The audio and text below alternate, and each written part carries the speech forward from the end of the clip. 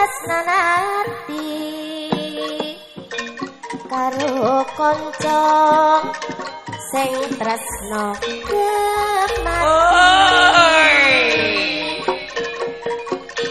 saben dina setya ngajati kawitan ana pikir iki.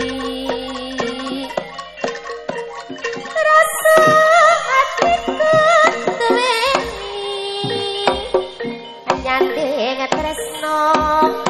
sing bisa nyawiji jroning rasa kutu lilo trimo marga kahanan kasunyatan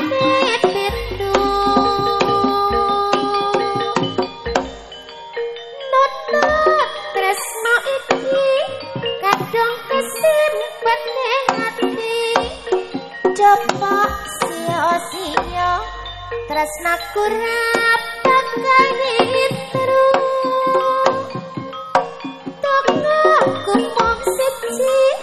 Yang rino kelawan wengi Tengahku siono Muka rapaka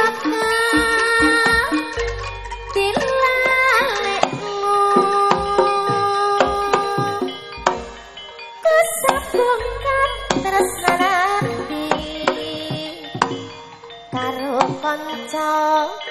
sing tresno kemati saben dina setiap ngajani gawe tenang ana pikir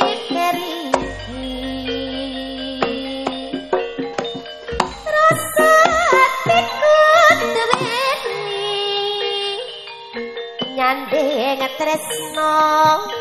sing bisa nyawiji.